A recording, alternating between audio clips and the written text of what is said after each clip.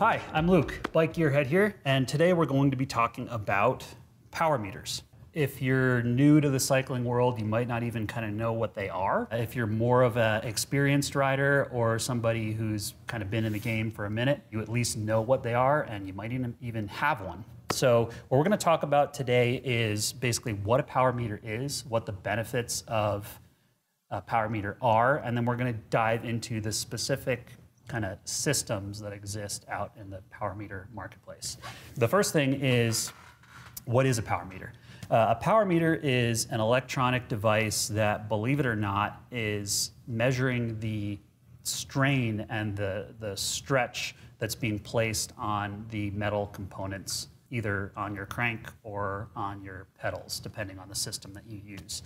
So it has a little strain, electronic strain gauge in it that, that's accurate enough that it can measure tiny, tiny, tiny amounts of deflection in the metal of the component that it's attached to and kind of translate that into a power number, which usually is measured in watts. Because of the different styles of systems, most systems have kind of benefits and drawbacks, and there are some that are better, better for some riders and some that are better for other riders. Before we get into that, we'll, we'll dive into like why you would use a power meter. There's a couple different reasons. The main reason is if you're a more experienced rider or if you're a racer or if you're somebody who has a very dedicated training plan, power is the most accurate way to measure your fitness level and to measure your workout zones, for lack of a better term. Um, some people use heart rate, but power is, is much more accurate. It's going to give you a much more precise training program. The other reason to get it is if frankly you're just kind of a numbers nerd and you want to see kind of what sort of power you're putting out on a ride, or if you want to brag to your buddies when you're doing your weekend ride and say, yeah, I did 250 watts for, etc. They're not for everybody, but they can have some benefits if they're being used correctly. So there are four kind of main styles of power meters that are out on the market today. Um, there is a fifth, which are like hub-based power meters, but those are pretty rare at this point. So we're just going to talk about the four styles that we have in front of us. The first style we're going to talk about is the crank arm based power meter. This one is made by 4iiii and you can either buy this as a whole crank set. We just have the non-drive arm here or if you have a Shimano or uh, other, they, they do these for other brands too. I believe they do them for SRAM cranks and Campagnolo cranks as well. You can send away your crank arm to have them install a power meter on it. The benefits of this system are it's relatively inexpensive, which is really nice. So if you're like, you're not sure you want to really dive into power meters, but you are kind of curious about them, this is a really good way to do it. The drawbacks are that it only measures one leg. So it's only going to give you the power of, of your non-drive arm or, or leg rather. So it's going to take your single leg power, multiply by two, give you your total out, power output. Great system to kind of get yourself into the power meter marketplace without spending too much money. Stages also does um, a crank arm style power meter. The next style is going to be a spindle based power meter. So we have here a SRAM dub system spindle based power meter. This one is a mountain bike uh, power meter. They also do this for their road bike. This is nice because it's a really easy um, and relatively inexpensive upgrade for anyone who has a SRAM style crank on their bike, as long as it has a dub spindle on it. So this will not work for the older style GXP spindle style. The benefits of this are it is a little bit more accurate than the crank arm based power meter and it's pretty easy to install. Um, if your current crank just has a standard hollow spindle in it, all you do is unbolt the drive side, pop this one back in, reinstall.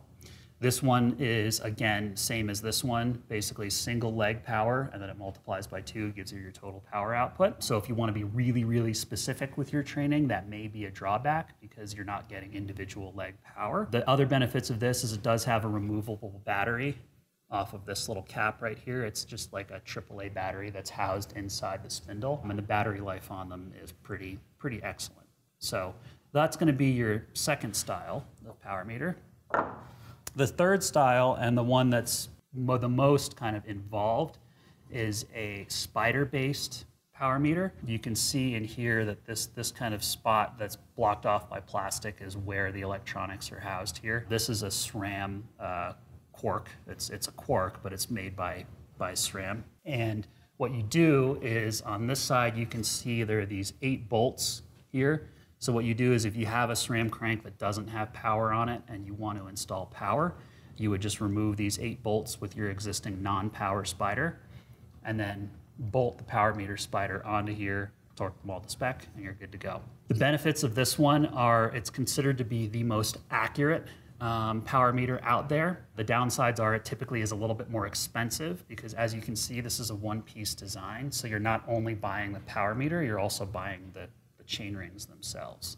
SRAM does make a spider-based power meter that does not come with chain rings, so you can bolt your own chain rings on there. But this particular instance, it's going to be typically the most expensive, but also the most accurate. Another benefit of the spider-based power meter is that it gives you left-right power, so it'll actually measure the individual leg output of your legs when you're riding.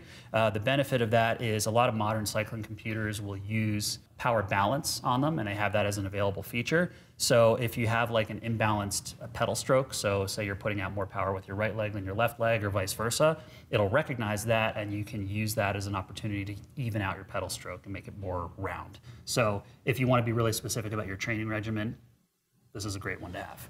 And then the last option are power meter pedals. We have here uh, mountain style power meter pedals. These are made by Garmin. These are also available in like a road style with like a SPDSL kind of three bolt cleat pattern. This is the two bolt cleat pattern. The benefits of this system are they do give you the obviously left right power. Uh, you can also buy these if you want to save a little bit of money with a power meter just in one pedal. And that one, it does what the, the crank arm and the spindle base does is it multiplies by two and extrapolates. But if you want a true uh, two leg power, you can buy these with power meters in each pedal. The benefits of these are they're easily swappable from bike to bike. So if you have multiple bikes that you want to have power on, but you don't want to pay for a power meter for every single bike, you can buy one set of pedals and move them from bike to bike, which is a nice option. The downsides of these are they are typically relatively pricey, similar in cost to the spider-based power meter system. But the benefits there, in my opinion, kind of outweigh the costs that the, the functionality of being able to move it from bike to bike. If you only have one bike, it's not a concern, but just something to consider when you're looking at a pedal-based power meter. One final thing to note with power meters is uh, obviously a big question would be how do they connect to your computer? All of these here in front of us are both Bluetooth and ANT Plus compatible.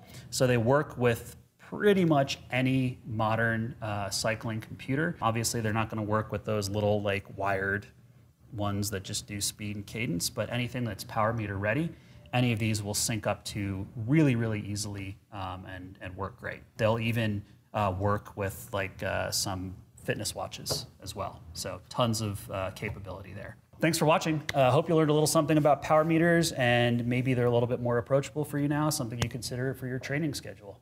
Uh, if you have any questions about these or are interested in purchasing one, feel free to reach out to our Gearhead team. We would also appreciate it if you liked, commented, and subscribed to our YouTube channel. And if you have any like ideas about stuff, the Tech Tips series is like it's still a new idea for us, so we're always looking for new content, new things to talk about. So if there's something you want us to discuss or want us to go over, uh, drop a comment down below, and if we like it, we'll make a video. We'll see you on the next one.